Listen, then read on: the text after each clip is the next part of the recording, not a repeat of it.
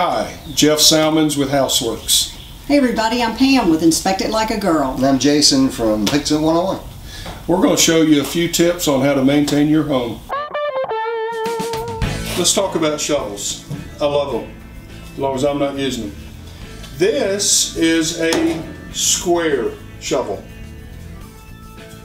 Square. This is good for cleaning out your gutter, cleaning off your driveway. Uh, it's not particularly good for digging. It's more of a hard surface cleaning tool, great for gutters. Round shovel, great for digging. Simply put in the ground, step on it, use your weight, use your leverage. Now, another thing a lot of people forget to do, grab a metal file and simply sharpen the leading edges of, of all your yard tools. You, you will be amazed how well your yard tools will perform when you sharpen them with a simple file.